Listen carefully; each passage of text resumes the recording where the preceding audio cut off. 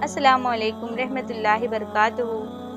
मेरे प्यारे बहनों और भाइयों, आज मैं आपके लिए एक ईमान अफरोज़ दास्तान लेकर आई हूँ, जो हज़रत इब्राहीम अलैहिस्सलाम और हज़रत इस्माईल अलैहिस्सलाम के अजीम कुर्बानी पर मुबनी है।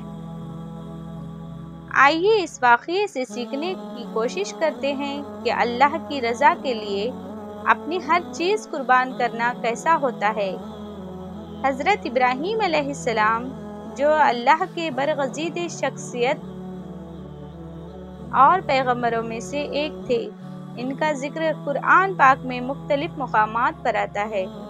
आपका ईमान अल्लाह पर इतना गहरा था कि आपने अपनी पूरी ज़िंदगी इसके हुक्म पर चलने में गुजार दी। हज़रत इब्राहीम अलैहिस्सलाम को बचपन से ही शिरक से नफ़रत थी और आप हमेशा अल्लाह ताला की वहदानियत को समझाने की कोशिश करते।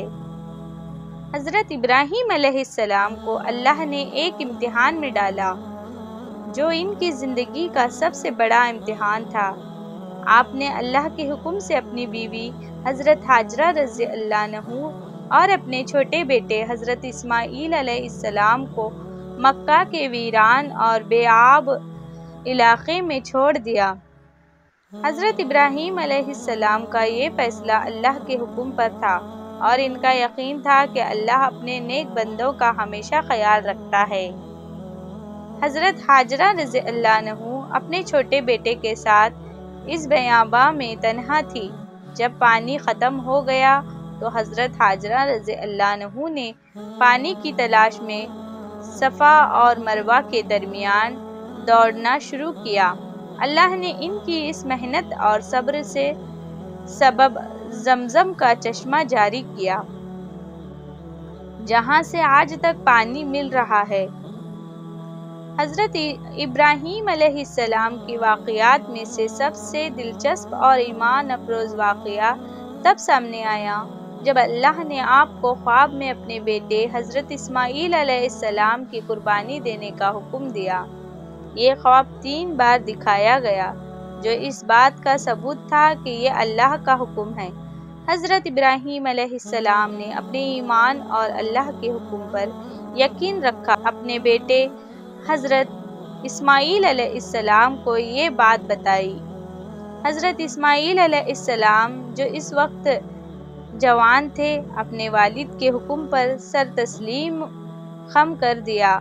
इन्होंने अपने वालिद से कहा, अब्बा जान, आपको जो हुक्म दिया गया है, वो ज़रूर पूरा करें।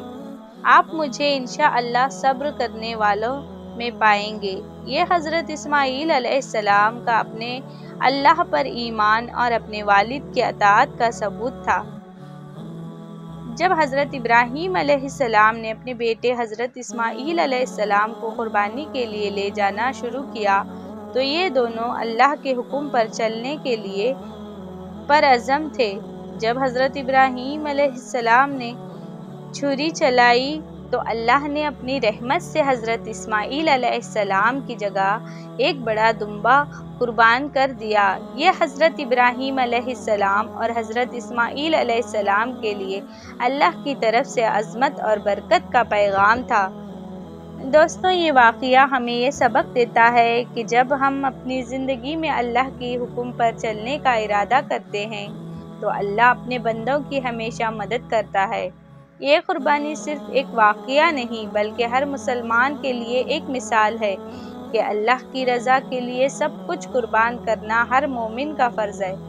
अगर आपको ये वीडियो पसंद आई हो तो लाइक और शेयर ज़रूर करें और चैनल को सब्सक्राइब करना ना भूलें, ताकि हम आप तक ऐसी और ईमान अफरोज वाक़ात पहुँचाते रहें। अल्लाह हम सबको अपनी रहमत में रखे। आमीन। आमीन सुम आमीन। अल्लाह हाफिज़।